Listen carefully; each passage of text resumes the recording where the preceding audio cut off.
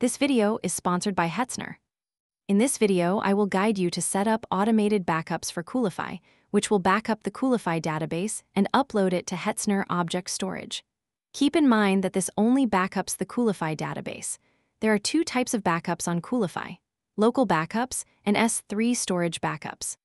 Local backups are stored on the server where Coolify is running on. S3 storage backups are stored on the S3 compatible storage you connect to Coolify. Coolify supports most of the S3 providers like AWS S3, Cloudflare R2, and many others. In recent videos, I showed how to set up Cloudflare R2 and AWS S3. In this one, I'll show you how to set up Hetzner Object Storage.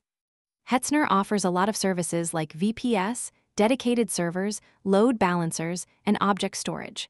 Their object storage pricing is incredibly affordable. For example, 100 terabytes of storage with 100 terabytes of transfer will cost about $700 a month on Hetzner. Compare that to AWS, where the same would cost over $10,000 a month. That's more than 14 times costlier than Hetzner. That's one of the reasons I reached out to Hetzner, and they're kindly sponsoring this video by covering the cost of the object storage I'm using in this tutorial, so I can keep making free tutorials like this. If you're looking for a reliable and affordable cloud provider, check out Hetzner by using the link airoflare.com slash Hetzner. On Coolify dashboard, click on the S3 storage option on the sidebar, then click on the Add button. Here we need few data like endpoint, access key, and more values. First, give this storage a name. I will name it as YouTube tutorial. Then I will go to my Hetzner dashboard and create a bucket. On the Hetzner dashboard, click on the Object Storage option on the sidebar. Click the Create Bucket button. Select a location where you want the bucket to be in, then give your bucket a name. Set Object Lock to Disabled and set Visibility to Private. Click the Create and Buy Now button. Now the bucket is created, so click on the bucket name to view the bucket. This is the bucket name, and this is the endpoint for our bucket, so click on it to copy to the clipboard and paste it on Coolify. Make sure to add the HTTPS protocol at the beginning of the endpoint URL.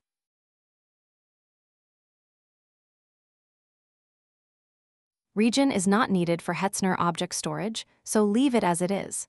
Now we need access key and secret key for our bucket, which we have to create from Hetzner dashboard. Click on this Manage Credentials button. This will take you to the S3 Credentials page on Dashboard. This page is on the Security page on the sidebar. Click on Generate Credentials button, then enter a description for the credentials. This is for you to know what this credentials are for, so I will give the description as tutorial video and click the Generate Credentials. Now we have our access key and secret key, so copy and paste them to Coolify. These keys works for all the buckets you have on the Hetzner project, so if you create a new bucket, then you can reuse the same keys if you want. Now we have all the details we need to set up this S3 storage, so click on this button. Now click the Settings option from the sidebar and click on Backup. If this is your first time visiting this page, then it will show you a button called Enable Backups. Clicking that button will show you this page. Here we have to enable Backup in S3, then select the storage we just set up. The backup is just a cron job, so you can control how often this backup runs. Backup retention are how many backups are stored. Local means the backup on your server, and S3 means the backup on your Hetzner S3 bucket. You can control how many backups are stored either by number of days or total number of backups. Also, you can set a maximum storage limit. Coolify will delete older backups and stores new one, so if one of these conditions are met, then a very old backup will be deleted and new backup is stored. Here you will see the backup executions, I don't have any executions yet, but you will see if you have any backups.